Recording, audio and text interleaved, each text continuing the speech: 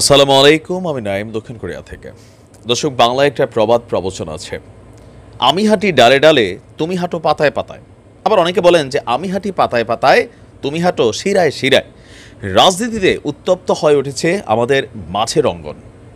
অতীতের সকল সময়ের তুলনায় আগামী নির্বাচনকে কেন্দ্র করে গত আঠাইশে অক্টোবর থেকে রাজপথে যথেষ্ট নিজেদের আধিপত্য বিস্তার করে রেখেছে বাংলাদেশ জাতীয়তাবাদী দল ওরফে বিএনপি। পাশাপাশি একই সাথে অ্যাকশনে নেমেছে জামায়াত ইসলাম। এর উপরে নতুন ঘোষণা দিয়েছেন আরও একটা বৃহত্তর ফোর্স, চরমনায় পীর। চরমনায় পীর তো ডাইরেক্ট বলতেছেনি কিসের অনুমতি? জাস্ট আমরা জাস্ট জানাই রাখছি, আমরা অনুমতির তোয়াক্কাই করি না, কারণ সংবিধান আমাদেরকে অধিকার দিয়েছে, আমরা কি বলে যে সমাবেশ করব, অনুমতির তোয়াক্কা করি না। এই যখন টাইট টাইট সিচুয়েশন প্রধানমন্ত্রীও সর্বোচ্চ অবস্থানে আছেন ঝুকাঙ্গানে স্টাইলে। আইনশৃঙ্খলা বাহিনী পুলিশ বলছে যে এবার শক্ত হাতে দমন করা হবে যারা অগ্নি সন্ত্রাসগিরি করতে চান। এরই মাঝখানে কি করতে পারবে বিএনপি? এ নিয়ে নানান মহল যখন আলোচনা করছে, তখন আমরা ভাবছিলাম এই মুহূর্তে সারা দেশে বিএনপির যে পরিমাণ নেতাকর্মী গ্রেপ্তার হয়েছে, জাতিসংঘ উদ্বেগ প্রকাশ করেছে, সম্ভবত এইবার বিএনপি অবরোধ আর বা কোনো ধরনের কর্মসূচিতে যাবে না।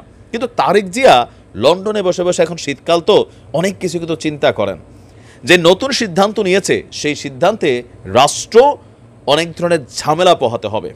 আর অনেক নেতাকর্মী হয়তো আমরা সামনেও দেখব গ্রেপ্তারের শিকার হতে। কারণ এই কর্মসূচিতে আমরা যদি মানে এটা যদি পালন করার সুযোগ হয় বা এটা যদি কার্যকর হয়ে বসে, অর্থনৈতিক অবস্থা বারোটা বাজবে, এটাও সত্য। অ্যান্ড ঘটনা কি? উবায়দুল কাদের সাহেব গতকালকে বলছিলেন যে বিএনপির নেতাকর্মীরা এখন ঘরে বসে বসে হিন্দি সিরিয়াল দেখে। তবে বাস্তবতা হচ্ছে এখন সিরিয়াল বার করে সিরিয়াল ছাইরা কালকে থেকে আবার দেখবেন রাজপথে। তবে কতদিনের জন্য? আনলিমিটেড সময়ের জন্য। দর্শক, সরকার বিরোধী যোগপথ আন্দোলনের ধারাবাহিকতায় যখন জাতিসংঘ, মার্কিন যুক্তরাষ্ট্র বা ইউরোপীয় ইউনিয়ন সহ অনেকেই এই গ্রেপ্তারের বিরুদ্ধে একটা আওয়াজ তুলেছে, তখন নতুন করে আরও একটা সহজ, সাহসী সিদ্ধান্ত নিয়েছে আমি মনে করি। বিএনপি বিএনপি এবং শরিকদের দেশব্যাপী চলমান রাজপথ, রেলপথ এবং নৌপথ অবরোধের কর্মসূচি বাড়ছে। বিএনপি সূত্র বলছে যে আজকে থেকে আপনার বিএনপির হাইকমান্ড তারেক জিয়ার নির্দেশে শুক্রবার এবং পরদিন শনিবার বাদ দিয়ে রোববার থেকে টানা কর্মসূচি চলবে এই পুরা সপ্তাহ। এই ধাপে তো দিয়েছিল তিন দিন, এবার বলছে টানা। স্থায়ী কমিটি সহ বিএনপির বিভিন্ন স্তরের নেতারা দলের হাইকমান্ডকে চলমান অবরোধ কর্মসূচি বাড়ানোর প্রস্তাবও দিয়েছেন। নেতা নেত্রীদের সাথে আলোচনা শেষে তারেক জিয়া এই সিদ্ধান্ত নিয়েছেন। গণতন্ত্র মঞ্চ সহ যুগপথের শরিকরাও এরই মধ্যে বিএনপির সাথে একই প্রস্তাবে সাড়া দিয়েছে। ফের হরতালের বিষয়টিও বিবেচনা করছে আপনার তারেক জিয়া। অবরোধ বাড়ানোর প্রস্তাবকে গুরুত্ব দিয়েই এক দফা আন্দোলনের পরবর্তী কর্মসূচি চূড়ান্ত করা হয়েছে।